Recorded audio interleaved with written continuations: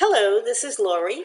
Today I'm going to show you how to do one of two methods when you're downloading a kit, in this case from Pickleberry Pop. You can see that's what I've got pulled up at the top. And this kit I am going to put into the Windows folders because that's the way I scrap. So I'll give you a little preview of how I do this. I have purchased the kit Fayette of Fayette See the Beauty and when I hit download, I'm then going to get the different downloads. And I've already downloaded the first one, so I will just click on the word art and you can see that it's downloading here. I am going to open my downloads folder and you can see that I have it already right there.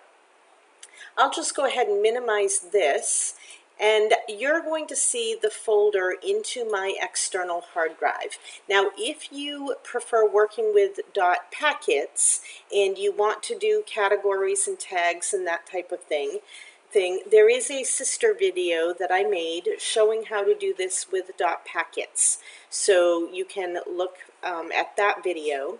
This video is going to show you how to load it just into an external hard drive and I have a folder I call DigiKits and right now I am working all of my new stuff since May is going into this folder. I haven't done an updated folder yet so it's just new from May and you can see I have a folder here called Pickleberry Pop PBP and I will go into that one.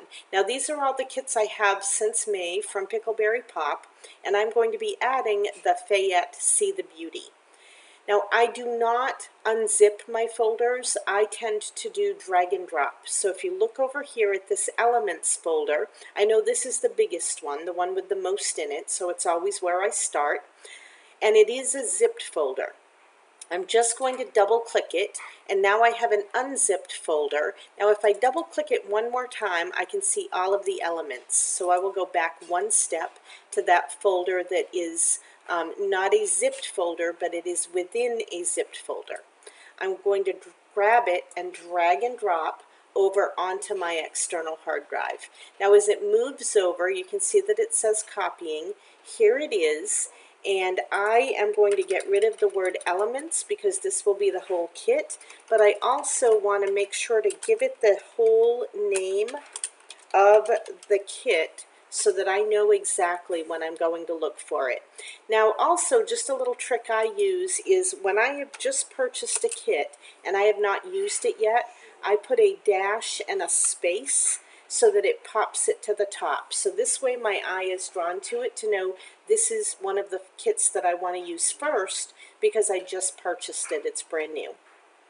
I will double click to open it up and now it's my unzipped elements from that kit.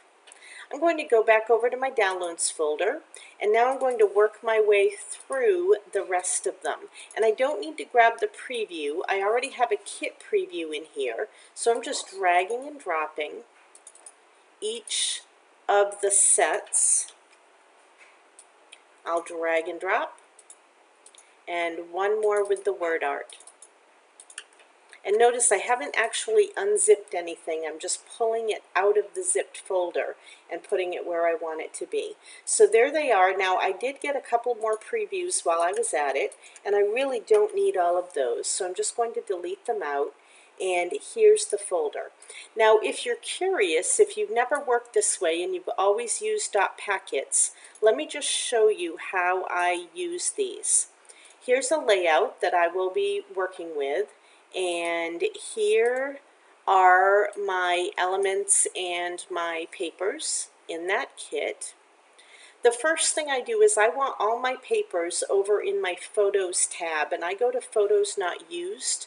So over here, I will go to Details. I'm going to clip, click on the word Type, and you can see all the JPEGs pop to the top because it's alphabetical order. I'll click one more time, and now my pings went to the top. I'll go back to my large icons. When I scroll down, I can see all of the papers. Now I don't need the preview, but I'm going to grab all of these papers. I used my shift key to do that. Drag and drop, and they're going to go into the photos not used area. The cool thing with this is I can take all of these papers and I can fill them. Now, of course, right now I am working on a with a 5. This does work basically the same way with a 4, um, but you don't see this cutting board. So that part is a little bit different. But what I'm doing is I'm just filling. I can fill with each different paper. Of course, resizing because it's A5, just the way you see.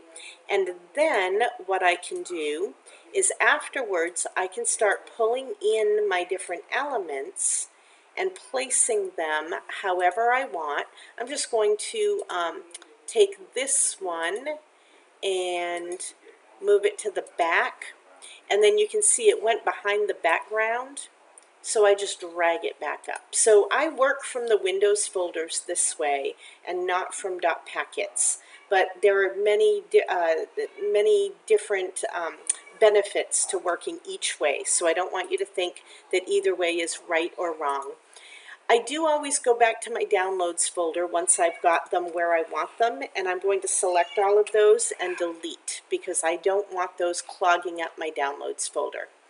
That's it, pretty simple, not difficult to do. This is a um, Fayette kit, and then this um, template does also come from Pickleberry Pop.